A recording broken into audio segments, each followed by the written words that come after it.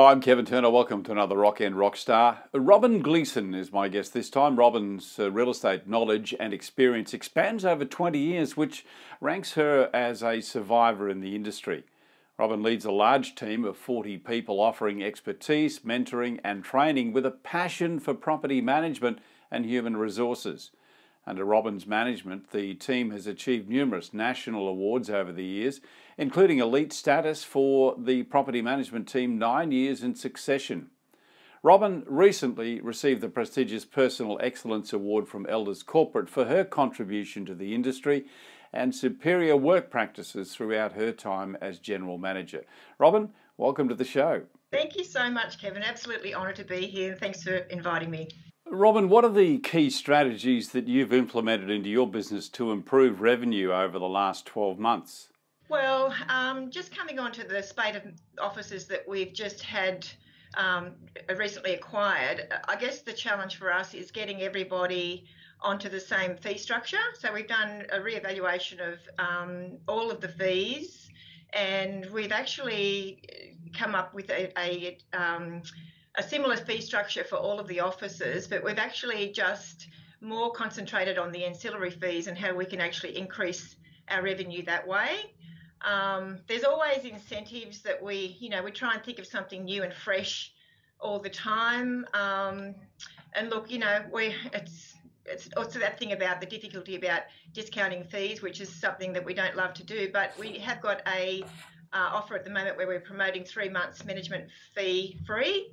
So that's just something that we've offered over the winter months. Tell me, has there been uh, has that been successful for you? Look, in the past we've done it before. Um, it's something that you know we, it's it's like a little fire to ignite something when things are a little bit slow, mm-hmm. and we I guess with you know historically winter t- tends to be a little bit slower, um, and it's just something that we've done every now and then, and we sort of put a um, a stop and a start on it, so that there's that feeling of that they have to sort of get in get in into the race.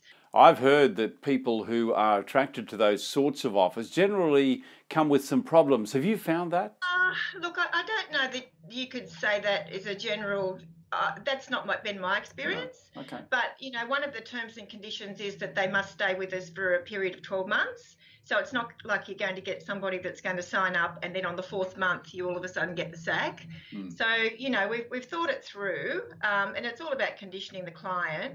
But look, I just think for, for people that are new to the investment market and their every dollar counts and they're often quite cautious, you know, that's quite appealing when you actually translate that into a hmm. dollar value. So, I mean, in our in our um, opening spiel and our dialogue, we could actually say, look, this this would normally equate to you know eight hundred dollars or something like that. Um, it may not be that amount. That's just something I've pulled out, but that but that is a significant saving to somebody who's coming into the investment market. So, you know, each case is going to have it's going to be case by case. Mm. But but certainly, I've not had um, anybody that you know has come to us you know that that um, we've we, that's come with some some, some issue baggage. or some baggage. Yeah. Baggage, yeah.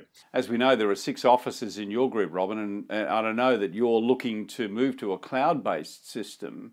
That uh, is going to help you uh, when you've got different people in various locations. What have been the challenges in that area for you, Robyn? Look, um, it's certainly only something that's very new, so we're still working through those challenges. Um, you know, quite, in, a, in a couple of cases, the acquisitions have been that the previous owners have actually stayed on throughout those businesses, which, like myself, I did the same thing when the acquisition came to me and I actually stayed on in the business. And I think that in itself is gold because you're still doing what you always do mm. and there's nobody that knows the business like the business owner so I think in some of the offices that we've acquired, that's actually happened. So I guess moving forward, as I said, it's all it's all very new. Um, it's just you know it, it, comes with some physical challenges and it comes with some digital challenges. Mm. We're not. I think the cloud based will take care of a lot of that um, and get, getting some uniform, uniform approach, you know, towards all of those offices. Yeah. Um, the office that we're working with, the probably the closest, uh, would be uh, Crescent Head, and then we've also got an office in Wauchope. Um, and we work with they're, they're sort of easy to, to um, get around so we have a little roster system where we all, all pop out and, and do our thing and visit them make sure that they're okay mm. Uh, but certainly it's only fairly new so we've still got some challenges ahead of us but i'm sure that we'll be able to overcome them Rockend's property tree allows you to do that doesn't it uh, for you personally how do you stay on top of technology and it's uh, because it's moving so fast so i think you have to stay on top of it kevin it's it's it's um you know, failure's failure's not a choice, mm. and and to be able to you know have that mentality, you have to stay on top of technology, be it challenging or whatever. But um, it, probably in the last 12 months, we've embraced um, Inspection Manager and Real Estate Inspect, and we've also embraced Flick It Over, which is like an electronic um, lease sign up for the tenant that they can actually do electronically. So I think for the majority of it, the, the Flick It Over was an absolute hit the tenants absolutely love it, and it, it takes up a lot of labour. Uh, we've, we've sort of had to really refine it somewhat because we do like that personal touch. Mm. We still do have that personal touch when the tenant comes in to accept their condition report, report and their, their keys, and we make sure that we sit down with them and have a chat. Mm. But it's not a long and tedious chat and a, a labour intensive chat because you know, under those conditions, usually people are, are wanting that express lane anyway because they want to get in and get out and get out to the removalist truck. Mm-hmm. But Flick It Over has been amazing. We've absolutely embraced that and loved it. So they're the mm-hmm. three things that we've actually embraced just recently mm-hmm. that have really worked for our office. Mm. Um, obviously, there's a lot of training and, and it's a bit of a disruptor at the time, but once it's up and running, everybody's loving it and using it yeah. and, and realising the benefits. A lot of changes in the industry and a lot of growth in your company it must play havoc on team culture. The last thing we want to do is is come in over the top or you know create fear in change. Mm. So it is really about baby steps and just working your way through that where it's manageable for the people that um, are involved in that process. Because you know if you've been doing something the same way for a very long time, it, it, can be quite overwhelming when you get an acquisition and how does and what does that mean to that person yeah. so you know you, you have to really be careful of your culture and be careful of um, how people um, you know how they accept that so there's a lot of working with your people mm. uh, you know making sure the mentality's right um, but change is inevitable for everybody you know you know and I, and I think um, you know, there's big changes and there's little changes. So, you know, is this a big change? It's probably not really when you think of the magnitude of other changes that are out there. So I guess it's just working with people and getting them to be on the same train.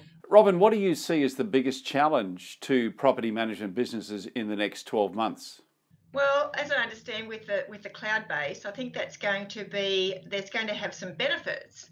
Um, there's also the, the, the, the challenge in that is that you're completely um, transparent with your tenant and your owner, and they can actually, you know, see that transparency that has to be there at, at, at any given time. So, you know, it's it's how that technology affects the landlord and how that technology affects the tenant. Yeah. And how and how that affects the property manager. Yeah. So I think everybody has got you know and, and then how will the client actually see that yes. as a as a positive thing or a negative thing yes that's always the challenge because i think um, a lot of people are fearful of change but once it's up and running and you know 12 months down the track i think you know that they adapt and then that's the best thing ever yeah indeed. so i think it's it's actually um, getting getting people on board with the fact that it has to happen, and these are the reasons why selling the benefits. But it certainly is a challenge because um, you know often the landlords are they you know their feedback's always important, and we always take that on. But but sometimes you don't get it doesn't get embraced no, the other end. Yeah, and that is a challenge. Robyn, thanks so much for your time. Kevin, absolutely honoured to be here. And thanks for inviting me. I'm Kevin Turner. I'll see you next time for another Rockend Rockstar.